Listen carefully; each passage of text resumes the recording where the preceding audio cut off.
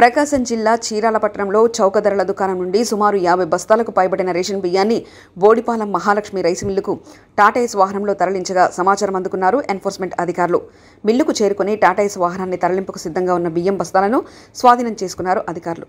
గుట్టలుగా పోసి ఉన్న ధాన్యపు రాసులు మిల్లు యజమానిని ప్రశ్నిస్తున్న అధికారులు మిల్లు యజమాని ఈ బియ్యంతో తనకు సంబంధం లేదని మాటూరు భాస్కర్రావు అతని సోదరుడు ఈ దురాగతానికి పాల్పడి ఉంటారని తెలిపారు.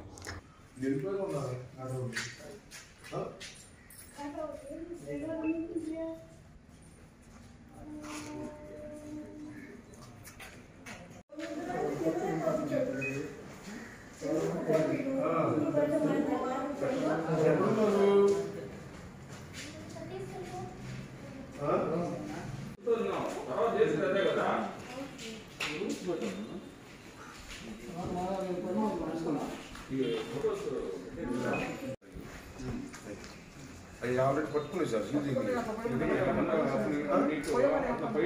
తెలుసు సార్ డ్యామేజ్ వచ్చేసారు అంతా డ్యామేజ్ వచ్చేస్తే అదే మీరు స్టేట్మెంట్లో మీరు స్పష్టంగా చెప్తున్నారు నాకు సంబంధం లేని విషయం అది. ఎక్కడికి వెళ్ళాల్సిన బండిని తీసుకొచ్చి నా వీళ్ళు తింపి ఇది గందరగోళం చేసి కేసు రాశారు వాళ్ళ పేర్లు వాళ్ళ డీటెయిల్స్ మొత్తం చెప్తా. నాకు సంబంధం లేని విషయం అసలు ఇది. నేను ఇంట్లో నిద్రపోతుంటే నా ఇల్లు తీసుకొచ్చి గేట్ దించి ఇది గందరగోళం చేసేవారు ఇది. నాకు మన పేరు నింపట్టేశారు వాళ్ళు ఇప్పుడు. వెంకటరావు అతని ద్వారా తోలించుకున్నారు వెంకటరావు వేరే వాళ్ళు తోలుకున్నారు నాకు తెలియదు సార్. వాస్తవంగా నాకు తెలియదు ఏం చేసుకుంటారనే తెలియదు నాకు అసలు?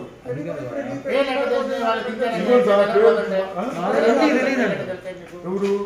వాళ్ళు నాతోటి నాతో కన్వీనెంట్ అవుతున్నారు సార్. ఇప్పుడు మీరు తోలుకుంటారు లేదనేది వాళ్ళు లేదా కన్వీనెంట్ నాకు వద్దు నాకు అవసరం లేదు. చేయి నాకు ఉన్నా. కౌంట్ చేసుకుందాము. మీ వేలో మీరు స్టేట్మెంట్ ఇవ్వండి. అర్థమైందా? మీరు ఏది చెప్పాలనుకుంటున్నారో ఇవ్వండి. పంచనామాదాల మధ్యనే పంచనామా జరుగుతుంది. అర్థమైందా?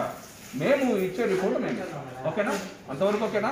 మీరు ఏం చెప్పాలనుకుంటున్నారు వినండి. ఈ వీడియో మీకు నచ్చినట్లయితే please subscribe share and like ఇవ్వండి. Star nine live.